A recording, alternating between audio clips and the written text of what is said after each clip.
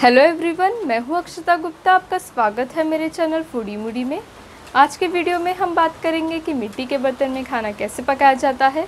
पहली बार जब आप मिट्टी का बर्तन इस्तेमाल करते हैं तो आपको किन चीज़ों की ध्यान रखने की ज़रूरत होती है, बर्तनों को कैसे साफ़ किया जाता है, और इसके कुछ ऐसे गुण जिसे सुनकर आप मिट्टी के बर्तन में ही खाना पकाएँगे। ये मिट्टी के कुछ बर्तन हैं, तवा, हांडी इसके साथ लिड भी है सर्विंग प्लेट और ये ग्लास ये सारे बर्तन क्राफ्ट्समैन इंडिया ऑनलाइन के हैं।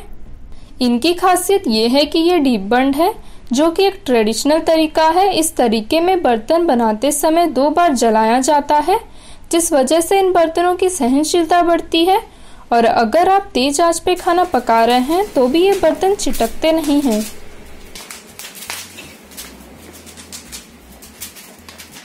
पहली बार जब आप मिट्टी का बर्तन इस्तेमाल करते हैं, उससे पहले इसे सीज़न करना पड़ता है, जिससे इसकी सहनशीलता बढ़ती है, दरारे नहीं पड़ते और खाने में मिट्टी का स्वाद आने का जो डर रहता है, वो भी खत्म हो जाता है। सबसे पहले हम मिट्टी के बर्तनों को तीन से चार घंटे या रात भर के लिए पानी में डुबो कर रखेंगे। देखिए, बर्तन किस तरह से पानी सोखना शुरू कर दिए हैं। तीन से चार घंटे हो गए हैं, अब हम बर्तनों को अच्छे से साफ़ कर लेंगे। इस समय बर्तनों को धोते समय ध्यान से हैंडल करें, क्योंकि इसके ऊपर स्टार्च की कोटिंग है और पानी अब्जॉर्व करने के बाद ये थोड़े चिकने हो गए हैं।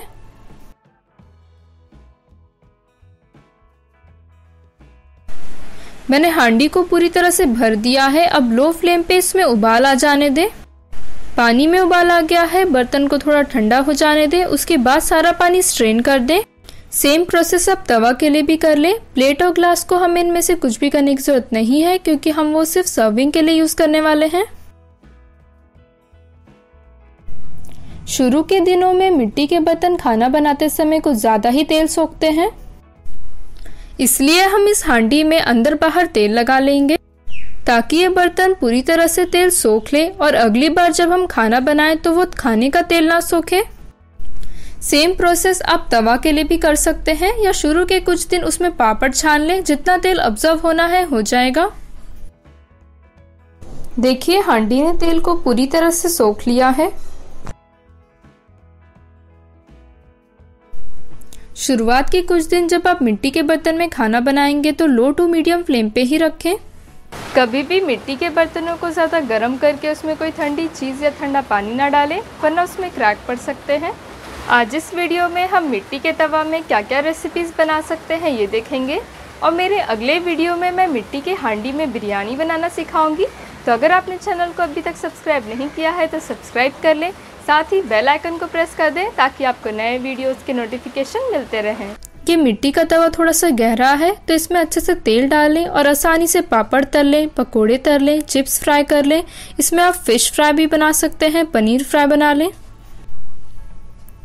पराठे बनाने के लिए सबसे पहले आप पैन में थोड़ा सा तेल डालें, उसके बाद पराठा डालें। इससे पराठा नीचे चिपकेगा भी नहीं और बहुत ही करारा सेकेगा। आप इसमें सादा पराठा बना लें, आलू पराठा बना लें या पनीर पराठा। कोई भी पराठा इसमें बहुत ही आसानी से और बहुत ही टेस्टी बन जाते हैं। आप इस तवा को रोटी बनाने के लिए इस्तेमाल करें। रोटियाँ भी बहुत आसानी से बन जाती हैं। शुरुआत के कुछ दिन आप इस तवा में कुछ तेल वाली चीज़ बना लें। उसके बाद जब आप रोटियाँ बनाना शुरू करेंगे तो रोटियाँ बिल्कुल भी चिपकेंगी नहीं।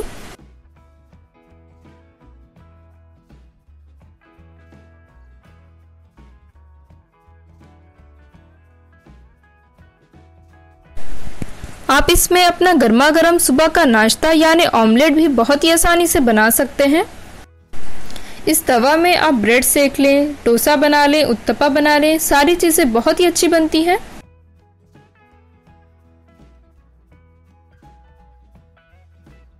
मिट्टी के बर्तनों को कैसे साफ़ किया जाता है ये भी जानना ज़रूरी है। अगर बर्तन में कोई खाना चिपका है तो कुछ देर के लिए इसे पानी डाल के रख दें। फिर इसे सिर्फ़ आप नींबू से रगड़ करके धो लें। आप इसमें बहुत ही थोड़ा सा वॉशिंग लिक्विड डाल करके भी धो सकते हैं एक सॉफ्ट स्क्रब से। और अगर आपने इसमें सिर्फ़ रोटी बनाई है और ये ज़्यादा गंदा नहीं है तो सिर्फ़ पानी और नींबू से ही धो लें। क्योंकि मिट्टी के बर्तन में पोर्स होते हैं, कभी भी आप इसमें वॉशिंग लिक्विड डाल करके रहने ना दें। इसे तुरंत ही धो लें अच्छे से।